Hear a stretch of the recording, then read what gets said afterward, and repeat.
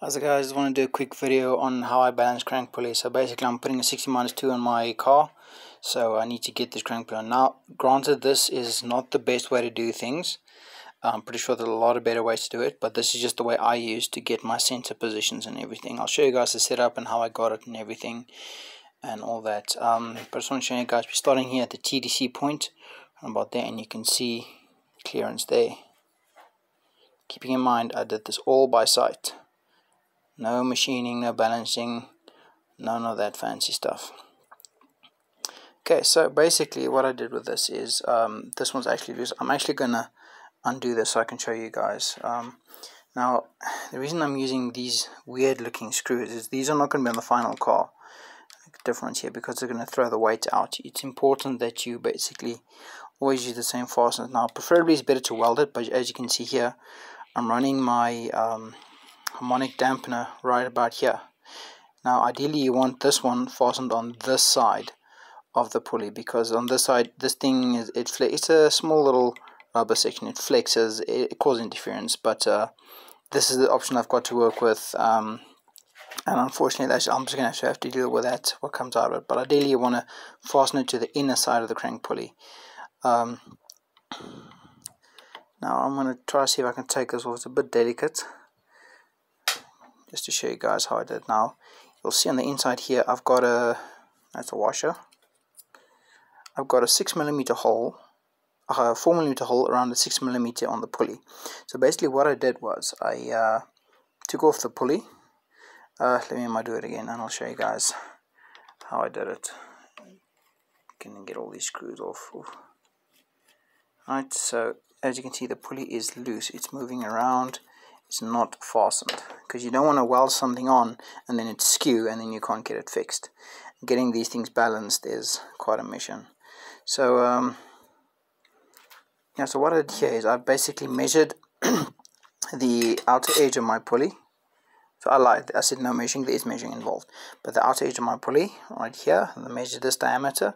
Then I measured this section here. You can see there's a little line line running there so I basically took the outer side of the pulley, the, the bigger side, and I minus this size off it, and that'll give me a dimension. And then I take that dimension divided by 2, and it'll give me a section over there and a section over there, which is basically how I got the inner diameter of this.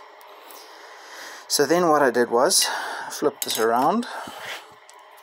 Now you want to work precise with these things because if it's if the if the sense is too far or too close, it's not really going to work that well. And I measured, I think it was like 8 millimeters or something was like wasn't eight was it? Eight. Well let's just for demonstrate let's just say it was eight. It's not eight but we'll just say that it was eight millimeters. And then I use this section here to sort of position it around the pulley more or less to the same side position. Yeah it was definitely not eight millimeters but I used that section to basically hold it like that to the edge of the crank pulley. See if I can do it on the side there. There's a crank pulley there and I measured the distance like that. Cool. Then after the pulley was centered I put a heavy weight on top of it and I marked the holes here. Now obviously it's gonna be a little bit off. You're not gonna get the holes perfect. But mine came pre-drilled with three holes so that's the one I looked for a pulley that was more or less in that position. Um, then I used the pulley that was mounted in and I marked the holes. But I made the holes a little bit smaller so that sorry for the bad camera work guys. I'm just trying to look what I'm doing and film at the same time and uh, then I just basically position them all till I can get the holes. Then I basically drill the holes with a I think it was a 3.8 mil drill bit. And then uh, tapped it with a uh, what do you call that thing? Uh, we tap, basically tap the holes so the hole has threads.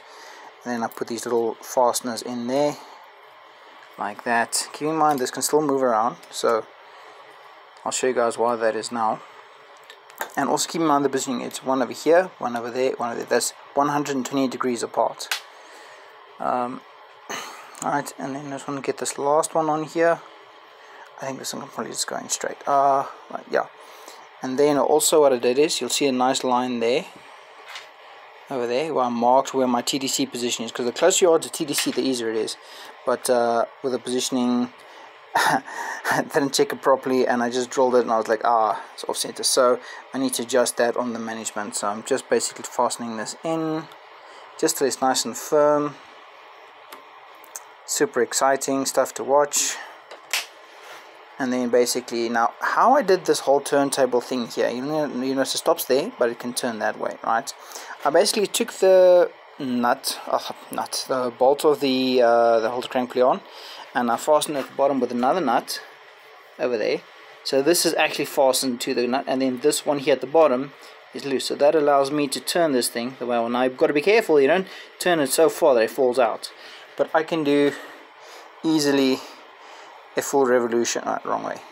Full revolution this way and another revolution on that way. So count your revolutions before you do it. The last thing you want is your pulley to fall off okay right. Now then what I did was I'm just going to get back to my TDC position. We're starting at TDC this thing is a bit loose. Now I've already kind of set the position so I already know where it needs to be more or less. So I've got a 90 degree square yeah? On a 90 degree surface. And I line that up exactly on the edge. Show you guys exactly what happens now when it's like check there and about there. Right, and then we're going to rotate it. So you'll hear it sort of uh, wrong way again. You'll hear it at some point. Okay you're not hearing it. Oh there you go. You hear that there. Which means that this is a little bit too far. That so, I gotta fasten this a little bit tight. So I'm gonna loosen this a little bit. Real-time stuff happening here. No fancy smoke and mirrors. This is how it actually happens in the workshop. Well my workshop at least. I don't recommend anyone doing this unless it's a last resort which is pretty much a last resort in my case. And uh, I'll just get this thing off center because I want to show you guys what it does when it's off center. Right so just tighten that there tighten that there. And then I'm going to move this in a little bit. About there. Get this back to positioning. As you can see there how the pulley basically runs back and forth and back and that's where the 120 degrees come in. Also with like this nice stubby bolts you can easily turn it like that. It's nice, it works nice and easy. So that's the base so I know that's my limit. And I see there yeah, see there it goes forward. And there it goes back again. So now I know at the lowest end I'm going to move it a bit forward. So and then I'm going to loosen these bolts a little bit. Not too much you don't want it sliding around all over the place. Loosen that. This is why you got the 6 more holes on the plate and the 4 mil pulley. That gives you some area to play with. And then you're just to adjust it more or less where. So you might now have moved it this way and then you'll find well it doesn't touch on the other side anymore. Then you just do it again from the other side. Just fastening that nicely there. And then you see ah, it's not touching this side now. So now you move it in. See that see that massive gap there so because we got the three I will now loosen this one here and this one there. Keep in mind you don't want to force because this thing is heavy. You don't want to tilt it out of your vise and you move this whole plate like that holding that one in, in place. Just a little bit of movement.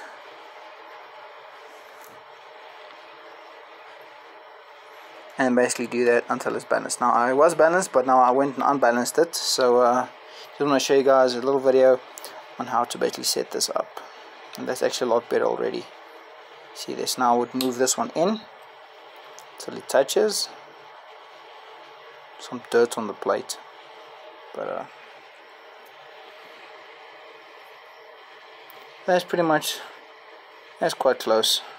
See there it little goes up a little bit down. So basically your crank pickup will not be able if the gap is like that it's not going to pick up the gears. It needs to be like against it like like there almost.